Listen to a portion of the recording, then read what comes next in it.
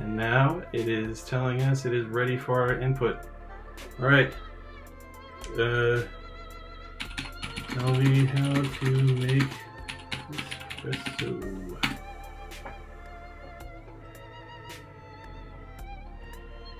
And there we've got it. Your own personal AI right in your own machine.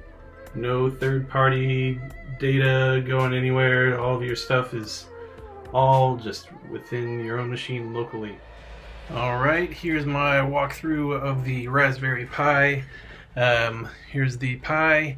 We've got the specs up there. Um, Pi, the new Raspberry 5 is awesome.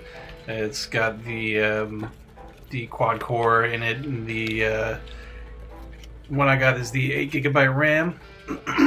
this is a little bit of an unboxing also right here. Uh, so what was different about the uh, about this one is it's uh, supposedly supposed to be twice as fast, if not more, than their last model, uh, which sounds pretty cool. We'll see how that goes. Um, uh, here also is the um, the active and passive cooler that they recommend using. Those are the heating pads. You want to try and make sure that those pads line up correctly on the chips that they are trying to cool off. Um, the uh, they recommend uh, using like this right here. Um, there are two little screw button things that you can see those little white things on the edges those actually uh, click through and hold the whole thing in place but you do want to have the pads um, nice and tight on top of there as well uh, just to make sure that the uh, the heat dissipation uh, goes well for you. Uh, and then right here you're gonna see I'm struggling to figure out why this doesn't fit on there. Uh, the Pi comes with a little cap on top of that little uh, compart that, that little port right there that you'll see I'm about to plug this into uh, right there. I'm showing you oh yeah there's a cap right here. Uh, so that thing pops off and you can plug in your fan. Uh, you want the red wire to be the wire that faces inwards uh, inwards towards the rest of the board. And once that is on there, your Raspberry 5 is ready to go. Except for I also had this case. Uh, this case is pretty nice. Uh, you can tell that it is definitely not made for the 5. It was made for the 4, I, I believe. Um, so there's a, a, hole in it that it was for the fan, but I think it, it works for it anyways. Uh, and so, yep, that's showing you the GPIO pins, uh, how that sits in there with all of the, with the fan and everything. Uh, the Raspberry Pi also has an on button, uh, and then that right there uh, on the bottom is where you're going to slide in your micro SD card. And then, so once you have that all ready to go, then you can um, put uh, you can flash your drive, uh, whatever operating system you want. So right here we're starting on uh, randallthomasmusic.com and we are going to go into the Raspberry Pi uh, website and find their imager. This is definitely the easiest way to flash the image onto your uh, micro SD card. Um, and so to do this, uh, just insert the micro SD card into uh, a computer and um, then you can choose to flash the image on there. Uh, so right here, we're going to choose which device we are uh, using. So choosing the Raspberry Pi 5 and the operating system, we are going to forego the Ras uh, Raspberry Pi operating system and go into the general purpose and Ubuntu. Um, I chose Ubuntu because uh, it's really friendly with people. Uh, that's the micro SD card, so choose to write that on there. Uh, and uh, also Ubuntu is a pretty um, well known for working well with uh, AI.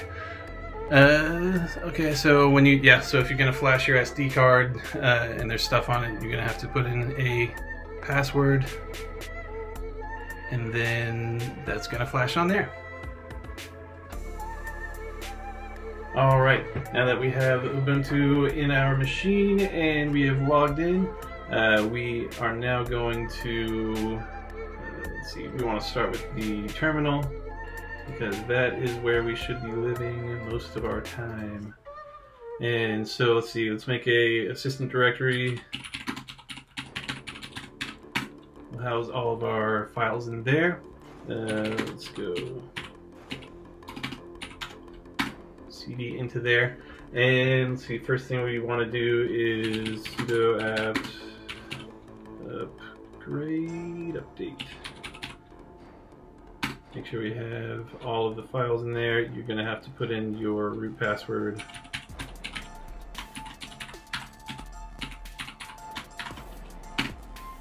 Hopefully it's long like mine. Alright, uh, so now, uh, let's see, yeah. Uh, and then, let's see, we want to get git, uh, so sudo apt install git that was pretty fast for me because I already have that installed. Uh, and then we also want to get the Python 3 environment.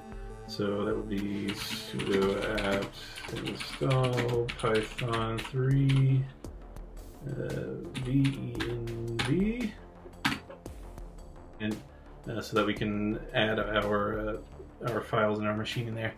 Uh, so let's see, we want to first create the environment. So Python 3.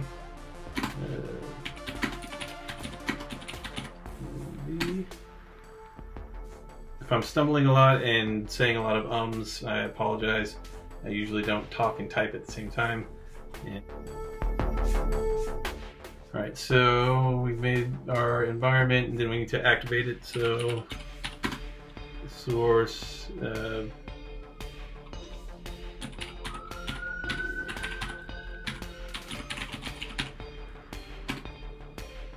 all right. Now that we have that activated, uh, we will want to get the uh, GGUF model uh, or file for the model, and that can be found at the Hugging Face huggingface.com uh, slash the bloke. Sorry, huggingface.co slash the bloke. Uh, and I'll have links and everything for and all the commands uh, written out in the description here. But um, so I'll have a link that goes directly to this GGUF file. Uh, but I'm going to find it here just so you can see that this guy's got a bunch of other uh, GGUFs. And there we go. And it's the GGUF file that we're looking for. And that's this is a, a GGUF file is a quantized uh, model, so it makes it smaller and able to run on the on CPU uh, more aptly. Uh, Alright, so once we find this page, we are going to get these commands. Can't I? and you'll probably see me kind of stumble around uh, using copy and paste on here as well because I'm used to Macs and I'm running Ubuntu right now which I usually do not run but I do like it alright so uh, yeah I didn't get much any output uh, you might get some output there because uh, I've already installed it and uh, for the first time you might get some actual output uh, and then we're going to go ahead and just copy this command also, and this command gets the assistant, or the, uh, there we go. Uh, all right, so this is going to download the GGUF file for us.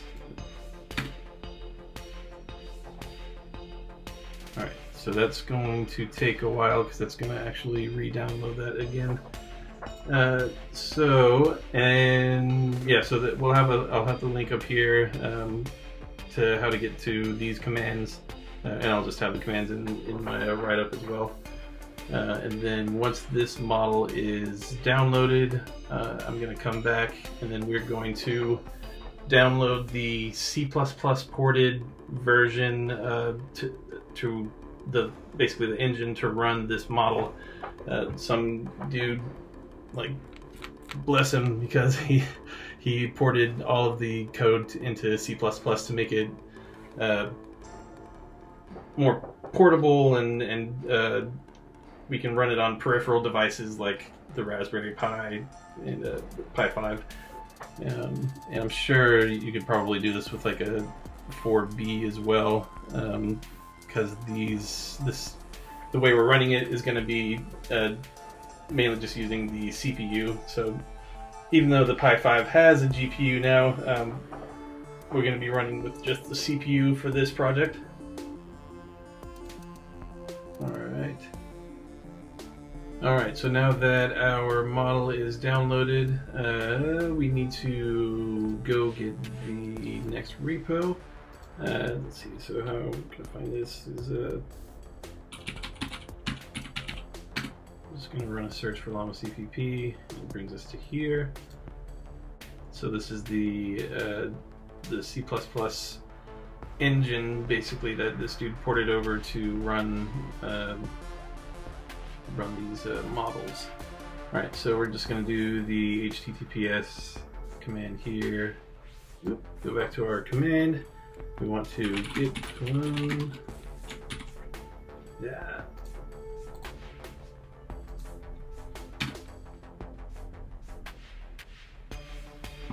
All right. Let's see, let's take a look at what we've got here now. All right, so now we see the GGUF file and we have the llama CPP file um, in there. Or the that llama CPP is a folder actually, which we are going to cd into. All right, now let's take a look in here. It's got a lot of cool stuff in there. Uh, there are different models actually in the models uh, in there, but uh, I want to run this uh, this specific model that uh, we've got here. Also take a look at um, let's see, inside of models. So those are the, the other GGUFs that we have in there. What I'm gonna do is create a new folder. Models. So this is going to be one of the 7B models. So I'm making that directory. And then what I need to do is, uh, see, go back, persistent, let's, um, want to move llama.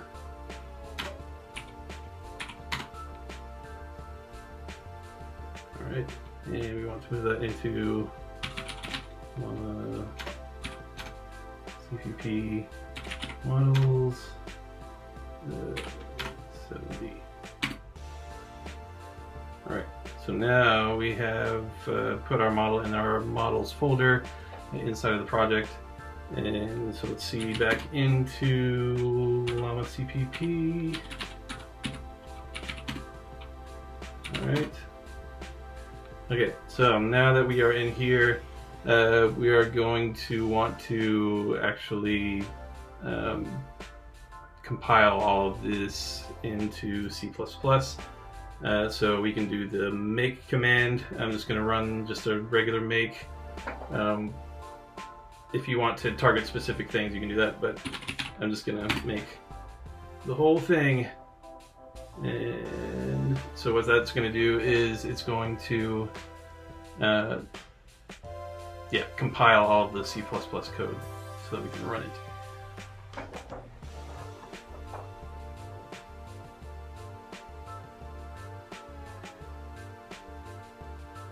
And so this is also uh, compiling a couple of other things we probably don't need. Uh, but I want to explore around later, so I'm going to just make all of these files. Alright, so now that we have all of those compiled, uh, now we can run, um, let's see, uh, if you look at the docs on these, you can find all sorts of different things that you can run. Uh, but let's see, I'm gonna run the slash main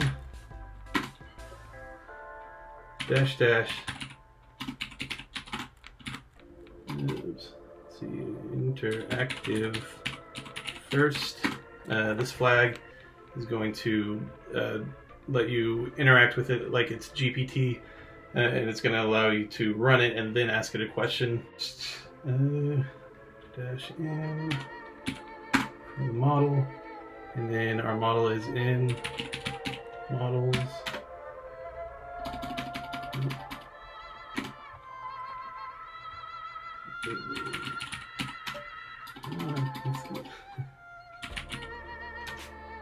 Models, okay, that's weird. Uh, and then it was in 7B. Alright, and that is our model. Let's run that. Get all this crazy output as if you've broken something for a second. And now it is telling us it is ready for our input. All right.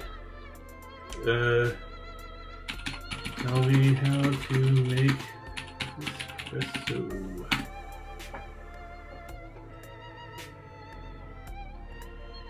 And there we've got it. Your own personal AI right in your own machine. No third party data going anywhere. All of your stuff is all just within your own machine locally. Isn't that cool? Alright. So, yeah. So we've got everything going. Alright, and um, I will probably do a second part to this video. I think I'm going to try and figure out how to set up a microphone and some speakers to the Raspberry Pi and turn this thing into a voice-to-voice uh, assistant AI crazy thing. Awesome stuff that you can do with technology today. All right, so I'm gonna see if uh, if this is actually making the correct kind of stuff. I will see you guys later. Thank you for watching.